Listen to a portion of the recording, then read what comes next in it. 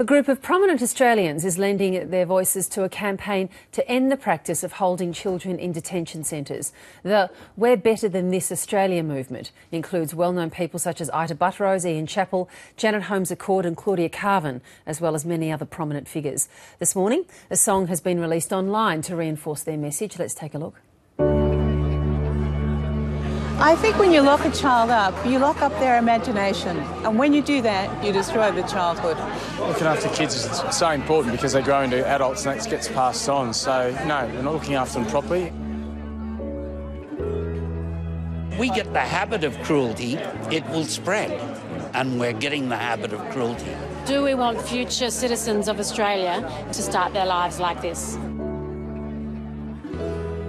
No other country in the world holds children in the way that we do, and the United Nations and, uh, is very, very concerned about Australia's policies. I would take every child out of detention. I think there are ways that we can do it. We just have to be imaginative. I thought that we were better than this.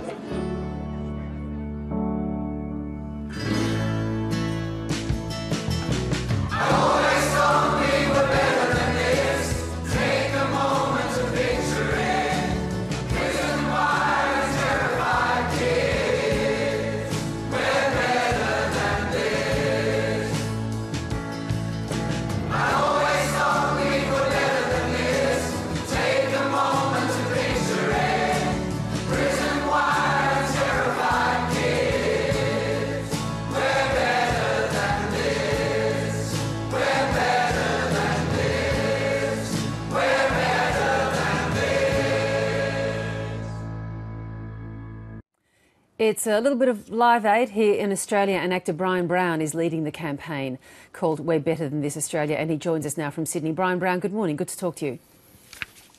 Good morning, Virginia. How did you get involved in this campaign? A couple of mates that uh, were talking to me about uh, about uh, how wrong this was, and we had a few discussions, and we thought, uh, well, we'd better do something about it. it's too easy to sit around and talk about things, and you sort of got to uh, get off your bum and do stuff. And this is appalling how these children are being uh, treated. So um, I sent out emails to uh, a number of prominent people. Some I knew, and most I didn't. And the response from all of them was fantastic. They said yes. Uh, they'd like to be involved in doing our We Are the World type video as a, as a start to the campaign. And uh, that's what you just saw. So, for, for whom is this message, or to whom is this message directed? Who are you trying to reach, and, and who are you trying to persuade? I think we just want the question of how we deal with children when we're holding them as Australians, or as, an Australian government that reflects us, how we look after children. We want that brought onto the, uh, we want that as a topic of conversation, because the way that they're being treated isn't the right way. Um, these children are self-harming. They're in there for 400 days uh, on average, um, and uh, we've got to treat them better than this. So we want the subject talked about, and we, the, our government, our, our, politicians are being given the responsibility to look after these children, and we want them to. Um, uh, to take that responsibility and to do it properly, which is what they are not doing at the moment. So we want it, we want it discussed and we want them to come up with an alternate way of dealing with these children, which is humane and proper.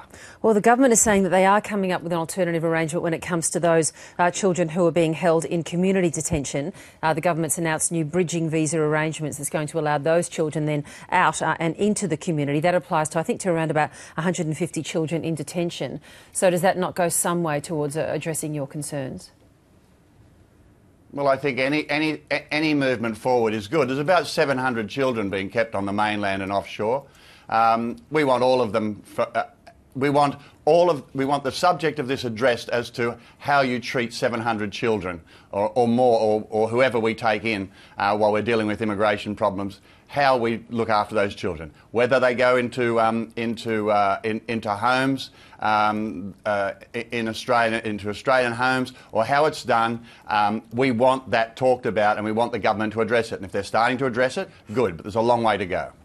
Uh, it was interesting in some of the observations that we that we heard there, and I think it was a point made by Tom Keneally that um, that if you if you start to to demonstrate cruelty, then cruelty uh, uh, seeps into your public.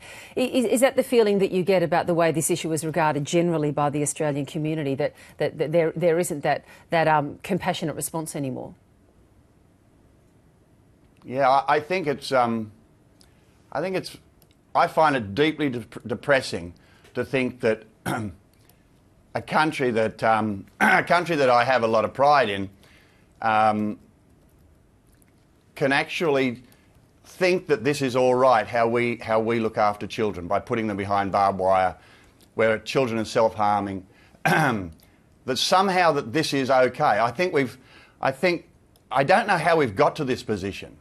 Um, and, and that was a comment made by many of the people that are in this, uh, in this video. How did we get here? How did we think this is all right? If we don't know how to look after children who are put in our care, then how do we know how to do anything else? Um, uh, uh the more I think about it, the more I'm just appalled. I don't know how decisions can be made by people who represent me and my friends and the other people that are Australians, how, how they can choose to think this is the way to look after children. Well, the, the, uh, the, response I don't get it. The, the, response of this government and, and, indeed previous governments of both stripes has been, well, if you don't want to see children uh, locked up in detention, then as parents, don't get on boats and don't come uh, to Australia. Don't seek asylum. Get, yeah. get, get, in the queue back in the country of your origin and, and wait to be given proper asylum seeker status. Yeah, spin's great, isn't it? I mean, what has that got to do with how we treat the children that are here? They're our responsibility. We're meant to look after them. Um, I, am amazed at how good politicians are at changing the subject. Um, that is complete spin. These children are here. Um, how they got here and why they got here is a whole other conversation. But we have the responsibility to look after them. It's as simple as that. I know how to look after children. I've brought up three of them. Most Australians know how to look after children. Um, our government doesn't. Well, um, both sides of uh, both sides of politics have failed in this, um, and I think it's time they pull their finger out. Uh, what would be what would be your response if uh, if this movement and if this video and if, and if, these voices are simply dismissed as as, as left leaning lovies uh, uh, uh, promoting a campaign or an issue that, that's of importance to them rather than the broader Australian public? What will be your response to that? I think what we tried to do is to go out to people who have um, respect in the community. Um, they're not left leaning lovies. Um, they're people who have um, brought a great deal of um, uh, pride to the country. They um, uh, to to call someone like Ita Buttrose a left-leaning lovey um, when she's Australian into the year, uh, a woman has had a, a, a, huge significance in this country. Ian Chappell, one of our greatest cricketers, or George Gregan, who's, who's led, led, led, led our um, rugby union team for so many times, um, amongst other people there. Um, uh, that's a cheap hit um, and I don't think it'll hold water. Bryan Brown, good to talk to you this morning. Thanks for making time for us. Thank you.